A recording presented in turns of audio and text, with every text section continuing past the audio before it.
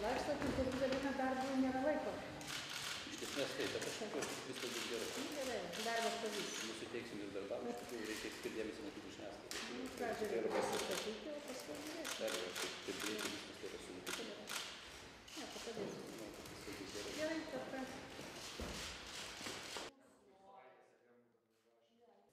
Ką tik baigėsi prezidentės susitikimas su Lietuvos policijos generaliniu komisaru Linu Pernavu.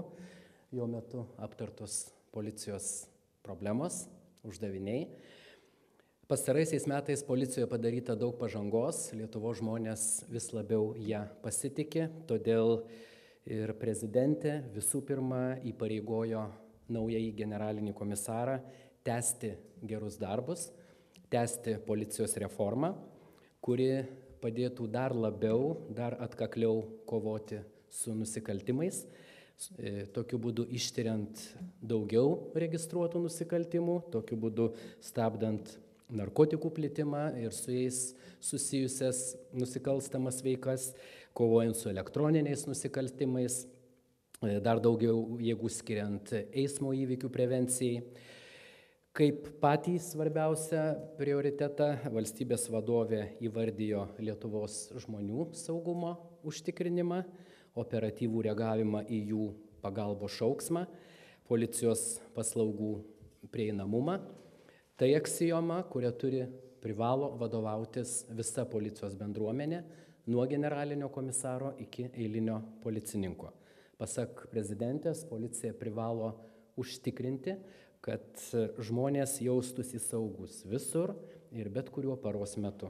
O nebaudžiamumo skatinimas, piknaudžiavimas, e, korupcija, atsainumas nukentėjusių atžvelgio turi likti praeities liekanomis. Artėja mūsų naujos valiutos euro ateimo į Lietuvą laikotarpį, tad prezidentė nurodė generaliniam komisarui e, užtikrinti, kad šis procesas visoje šalyje vyktų sklandžiai, vyktų saugiai.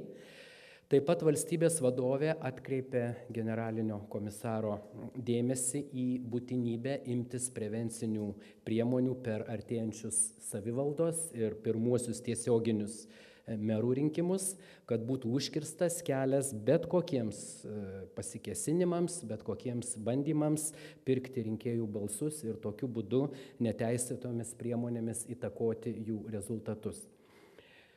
Pasak prezidentės, pareigūnų profesionalumas, aukšti įsilavinimo ir, ir, ir veiklos standartai, neturintys nieko bendro su perteklinės jėgos naudojimu ir piknaudžiavimu valstybės suteiktomis galiomis, būtent tai ir yra pagrindas geriems veiklos rezultatams.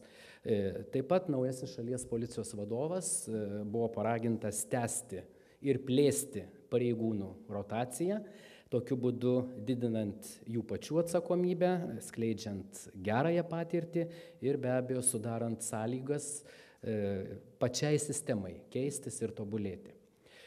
Prezidentė taip pat įpareigojo generalinį komisarą išlikti budriam, nepra- neprarasti budrumo, reaguojant į kylančius geopolitinius iššūkius ir labai rimtai vertinti bet kokius nesantaikos kurstimus.